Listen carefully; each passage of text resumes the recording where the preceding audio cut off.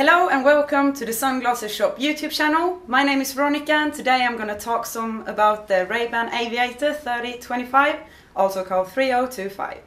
They come in three different sizes. The size are measured from the widest part of the lens to the other side of the lens. Um, they come in 55, 58 and 62 millimeters. This is the 55 millimeter. Ta-da! It's a little bit too small for me, little bit narrow, like you can say. It would work, but I wouldn't go for that. I want a little bigger size. so, I would go for the 58 millimeter. Look like this. Pretty neat. I like them. It's the size I have myself back home. And then we have the Monster, the 62 millimeters. They're quite bigger.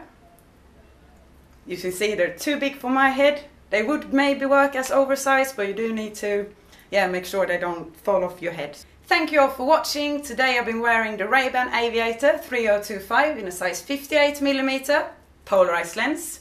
Don't forget to subscribe to our YouTube channel and uh, till next time, thank you so much for watching. You all take care now. Bye!